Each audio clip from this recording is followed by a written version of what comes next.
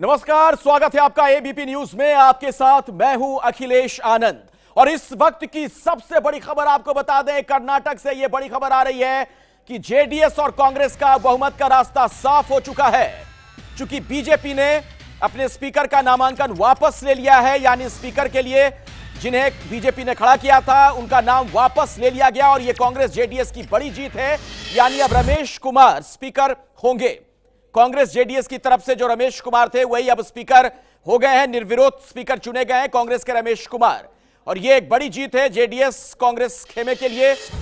तो कुमार स्वामी सरकार को आज बहुमत साबित करना है, और उससे पहले एक बहुत बड़ी जीत है इस खेमे के लिए। निर्विरोध स्पीकर चुने गए कांग्रेस के रमेश कुमार। बीजेपी ने सुरेश कुमार का नाम वापस ले लिया है। और ऐसे में अब आपके सामने दो तस्वीरें हैं। कांग्रेस जेडीएस की यह बड़ी जीत है और दूसरी बार बीजेपी बैक फुट पर नज़र आ रही है। पहली बार तब जब येदुरप्पा ने बहुमत साबित करने से पहले ही अपना इस्तीफा दे दिया था और अब से थोड़ी देर पहले जब बीजेपी ने स्पीकर के लिए जो नाम आगे बढ़ाया था, वो नाम वापस ले लिया। यानी दूसरी बार बैक फुट पर कर्नाटक में बीजेपी और कांग्रेस की एक बड़ी जीत है। कांग्रेस, जेडीएस दोनों की बड़ी जीत और बहुमत का रास्ता करीब करीब साफ़ हो चुका है क्योंकि कहा यह जा रहा था कि बहुमत साबित करने से पहले यह भी एक मिनी शक्ति परीक्षण है। इसमें यह पता चल जाएगा कि बहुमत किसके साथ है, जिसका स्पीकर चुना जाएगा। तो कांग्रेस, जेडीएस खेमे के स्पीकर अब रमेश कुमार निर्विरोध चुन लिए गए हैं कर्नाटक विधानसभा के अध्यक्ष। और दूसरी बार लगातार बैकफुट पर बीजेपी को यहाँ पर आना पड़ा है। दो तस्वीरें आपके सामने, ये पूरा घटनाक्रम इससे आप समझ सकते हैं। एक बार फिर से अपने दर्शकों को इस वक्त की बड़ी खबर बता दें। कांग्रेस और जेडीएस के बहुमत का रास्ता साफ़ हो चुका है कर्नाटक में। कुमार स्वामी सरकार को अपना बहुमत साबित करना है। शक्ति परीक्षण के पहले बड़ी जीत।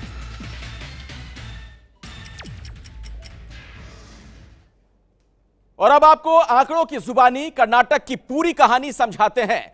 जरा देखिए इन आंकड़ों को, क्या है यह पूरा गणित और समझिए यह स्थिति आखिर क्या कहती है। कर्नाटक की कहानी अब तक क्या है? कर्नाटक में किसी को बहुमत नहीं मिला, बीजेपी सबसे बड़ी पार्टी ज़रूर बनी। उसके बाद क्या हुआ? बीजेपी के येदुरप्पा ने सरकार बनाई थी, लेकिन बहुमत टेस्ट से पहले इस्तीफा दे दिया येदुरप्पा ने। बीजेपी को रोकने के लिए कांग्रेस जेडीएस ने मिलकर वहाँ पर सरकार बनाई। नंबर टू और नंबर थ्री पार्टी ने मिलकर सरकार बनाने का दावा पेश कर दिया। नंबर नहीं होने के कारण बहुमत टेस्ट से पहले बीजेपी स्पीकर चुनाव से हट गई है, यानी लगातार दो बार बैकफुट पर यहाँ बीजेपी आ चुकी है। और कांग्रेस जेडीएस को बहुमत का रास्ता साफ़, दोपहर तीन बजे के आसपास विश्वास मत महज अब एक औपचारिकता भर। यानी कांग्रेस और जेडीएस के लिए एक बड़ी जीत यहाँ पर हो चुकी है। अभी कांग्रेस के पास 117 विधायक हैं, बीजेपी के पास 104 विधायक हैं। कांग्रेस और जेडीएस के पास 117 और पिंकी राजपुरोहित इस बीच हमारे साथ कर्नाटक से जुड़ रही हैं। विधानसभा के बाहर से पिंकी, क्या और जानकारी आपको मिल पा रही है? वहाँ से ताज़ा जानकारी क्या है? चूँकि कांग्रेस और जेडीएस खेमे की बात की जाए तो एक बहुत बड़ी जीत है उनके लिए। बहुमत टेस्ट से पहले ही।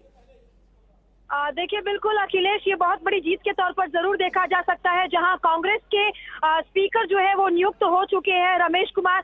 सुरेश वर्सेस रमेश की ये लड़ाई थी स्पीकर पोस्ट के लिए लेकिन जिस तरह से बीजेपी ने अपना नामांकन वापस ले लिया है सुरेश कुमार जो कि बीजेपी के एमएलए है उसके अनोनिमसली जो है कांग्रेस के एमएलए रमेश कुमार को स्पीकर के पोस्ट पर जो है इलेक्ट हो चुके हैं और अब से कुछ ही देर में औपचारिकता भर रह गई है जब फ्लोर टेस्ट होगा, जहाँ जेडीएस और कांग्रेस अपने नंबर्स को जो है फ्लोर ऑफ़ द हाउस साबित करेंगे। बैक टू यू शुक्रिया इस जानकारी के लिए पिंकी राजपुरोहित आपका और अपने दर्शकों को बताते हैं कि आखिर बीजेपी क्यों बैकफुट पर आ रही है, चूँकि लगातार यह दूसरी घटना है। सियासी तौर पर अगर आप देखें आप इन आंकड़ों पर नज़र डालिए। देखिए बैकफुट पर आखिर क्यों आई है यहाँ पर बीजेपी आसानी से बहुमत साबित कर लेंगे कुमार स्वामी चूँकि ये आंकड़े जो हैं पूरी तरीके से जेडीएस और कांग्रेस के पक्ष में हैं। 222 विधानसभा की सीटों पर चुनाव हुए 224 में से। इस लिहाज से बहुमत का आंकड़ा 112 का हो जाता है। ये देखिए, अब समझिए, आगे का जो पूरा ये कॉम्बिनेशन है, जो पूरा समीकरण है,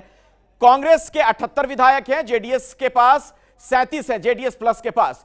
कुमार स्वामी दो सीट से लड़े हैं, यानी उनकी एक सीट ही मानी जाएगी, और उसके बाद आसानी से बहुमत साबित कर लेंगे कुमार स्वामी। निर्दलीय दो हैं, और ये पूरा आंकड़ा जब आप मिला देंगे तो ये 117 तक पहुँच जा रहा है, यानी बहुमत से पाँच ज़्यादा विधायक हैं इन आंकड़ों के लिहाज से कुमार स्वामी के पास।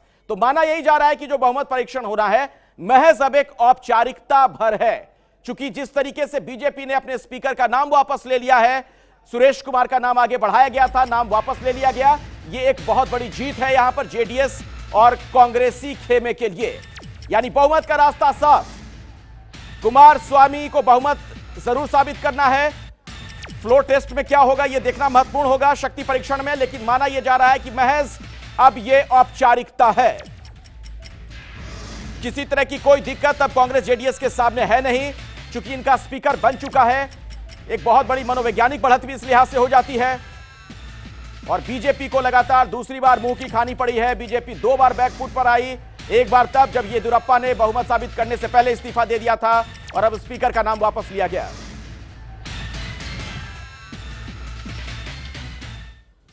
तो दिखाते हैं आपको कुछ और तस्वीरें और आपको समझाने का प्रयास करते हैं। कर्नाटक का यह पूरा राजनीतिक घटनाक्रम इस वक्त क्या कह रहा है? किस तरीके से बहुमत का रास्ता साफ़ हो चुका है कुमार स्वामी के लिए? कांग्रेस, जेडीएस की बड़ी जीत और दूसरी बार लगातार बैकफुट पर बीजेपी जैसा कि हमने आपको पहले भी बताया, पहली बार तब बैकफुट पर बीजेपी यहाँ पर आई थी, जब येदुरप्पा ने बहुमत साबित करने से पहले ही फ्लोर टेस्ट से पहले ही अपना इस्तीफा दे दिया था एक भावनात्मक भाषण के बाद। और अब दूसरी बार बीजेपी बैकफुट पर आई है इस लिहाज से, चूँकि जो नाम उन्होंने स्पीकर के लिए अपनी तरफ़ से आगे बढ़ाया था, सुरेश कुमार का, वो नाम एन वक्त पर वापस ले लिया गया। और इस तरीके से कांग्रेस जेडीएस के रमेश कुमार निर्विरोध कर्नाटक विधानसभा के अध्यक्ष चुन लिए गए हैं। हालाँकि थोड़ी देर के बाद बहुमत परीक्षण होना है, करीब तीन बजे के आसपास, लेकिन करीब करीब यह तय मानिए कि यहाँ पर कांग्रेस जेडीएस की जीत हो जाएगी इस फ्लोर टेस्ट में।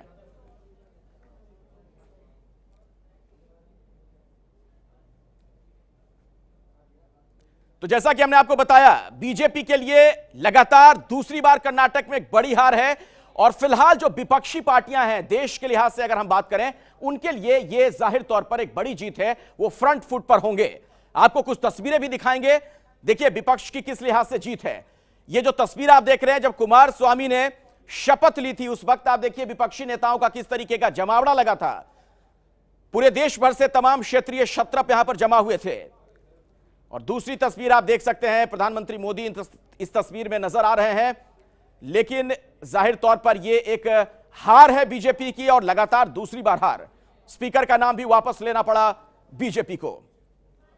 यह है एबीपी न्यूज़ आपको रखे आगे।